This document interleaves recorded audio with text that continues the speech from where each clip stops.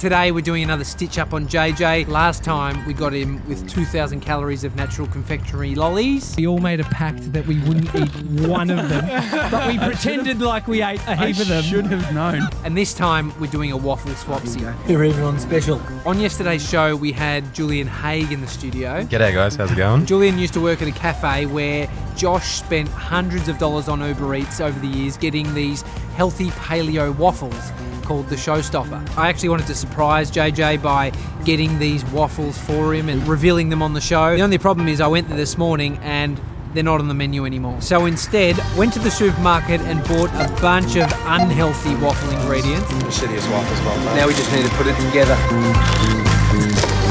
With this shit. Excuse fingers, Josh. I don't have a spoon. You have ordered probably four thousand dollars worth of these waffles. Yeah, the showstopper. They've changed their box. There they are. It looks very good. Can I sniff it? Yeah, it smells exactly the same. Yeah, that's perfect. The great thing about these also is the ice cream that's on it. They're very dense. It's almost like a cake type thing. Here we go.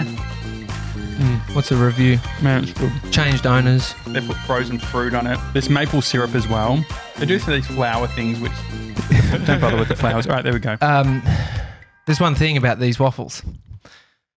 Patch don't do the showstopper no more. Fuck off.